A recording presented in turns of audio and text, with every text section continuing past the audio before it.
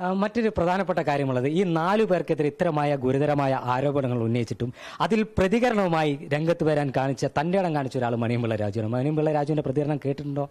എന്നറിയില്ല. അദ്ദേഹം പറഞ്ഞത് സിനിമയിൽ അവസരം കിട്ടാത്ത ആളുകൾ ഇങ്ങനെ പലതും പറയും. അല്ലെങ്കിൽ പണം ഉണ്ടാക്കുന്നതിന് വേണ്ടിയിട്ട് ഇങ്ങനെ പലതും പറയും എന്നൊക്കെയാണ്. അത് മണിയമ്പിള്ള രാജുവിന്റെ ആ പ്രതികരണം കേട്ടിരുന്നു? ഞാൻ കേട്ടില്ല. ഇപ്പൊ താങ്കളിൽ നിന്ന് കേട്ടപ്പോൾ ഞാൻ അതിന്റെ പറയാണ്. സിനിമയിൽ നിന്ന് ഞങ്ങൾക്ക് അവസരങ്ങൾ കിട്ടില്ല എന്ന് പറയുന്നതിൽ പ്രസക്തിയില്ല.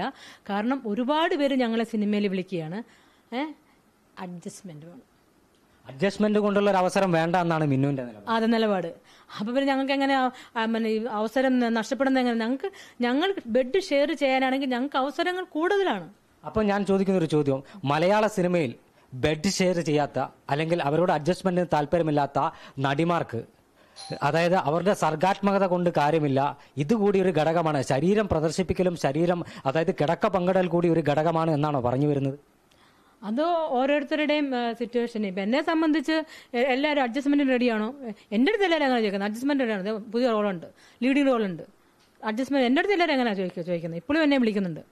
ഏ അപ്പം പലരെയും ഇങ്ങനെ പലരും ഈ നല്ല ടാലൻസ് ഉള്ള ആൾക്കാർ കുറേ കുട്ടികൾ ഇതിലുണ്ട്. നമുക്ക് ഫേസ്ബുക്കിൽ തന്നെ കാണുമ്പോൾ അറിയാം. അവർക്കൊന്നും ഒരു ഓപ്പർച്യൂണിറ്റി ചിലപ്പോൾ അവർ വരുന്നുണ്ടായിരിക്കാം. പക്ഷേ ഈ ഒരു ഇങ്ങനത്തെ ഒരു ആറ്റിറ്റ്യൂഡ് കാണുമ്പോൾ പിള്ളേരെല്ലാവരും ഓടുകയാണ്. കലാ കലാപരമായ കുട്ടികൾ എത്ര അപ്പനും അമ്മയൊക്കെ വളരെ കഷ്ടപ്പെട്ട് പഠിപ്പിച്ചെടുത്താണ് അവർ ആക്ടിങ്ങും ഡാൻസും അല്ലേ? നമുക്കറിയാം. അപ്പോൾ അവരുടെ അവിടെയൊക്കെ ഒരു സ്വപ്നങ്ങളാണ്. പക്ഷേ ഇന്ന് അവരെല്ലാവർക്കും അവരെ പഠിപ്പിച്ചു കഴിഞ്ഞിട്ട് ഇനി എന്ത്? എങ്ങനെ സിനിമയിൽ വിടും? സിനിമയിൽ സേഫ്റ്റി ഇല്ല.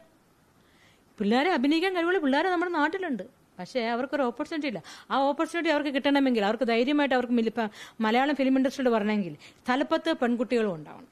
പാർവതി തിരുവോത്തിനെ പോലെയുള്ള ഒരു നമ്മുടെ അസോസിയേഷനിൽ ഉണ്ടാവണം. അതുപോലെ തന്നെ ഈ പഴഞ്ചൻ ആൾക്കാരൊക്കെ മതി അവരെ ആറാടിയത് കുറേ ആറാടി കുറേ പേരെ ചൂഷണം ചെയ്തു. Mar throw them out and bring new generation